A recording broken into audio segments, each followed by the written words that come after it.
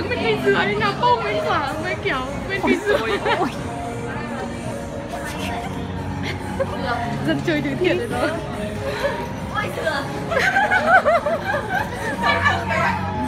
Cầm cầm cái biển sư tử đi chị. Hương sư tử cầm cầm có nước thật mà Ê, con nước rồi